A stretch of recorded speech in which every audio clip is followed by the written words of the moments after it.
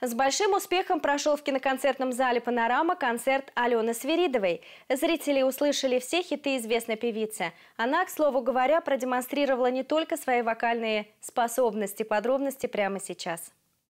Розовый фламинго, бедная овечка, никто никогда. Тверские зрители услышали в этот субботний вечер все хиты известной исполнительницы. Ведь никто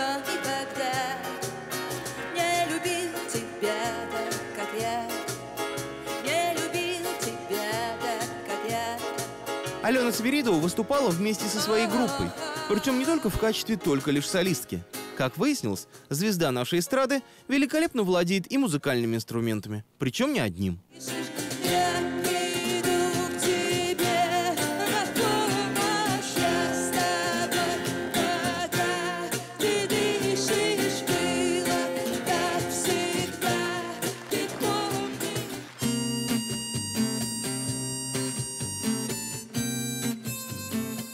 Зрителей, практически полностью заполнивших ККЗ «Панорама», особенно впечатлило то, что все свои песни Алена Свиридова исполняла вживую. Как рассказала певица нашему телеканалу, акустический формат этой программы она выбрала не случайно. Мы сделали акустическую программу, где я играю весь концерт, и мне это безумно нравится, потому что это получается такая очень живая история. Это востребовано, потому что есть уже легкая усталость от электроники полностью эксклюзивное интервью Алены Свиридовой, а также расширенный репортаж о концерте вы сможете посмотреть в одном из ближайших выпусков программы «Жизнь прекрасна» с Жанной Пантелеевой.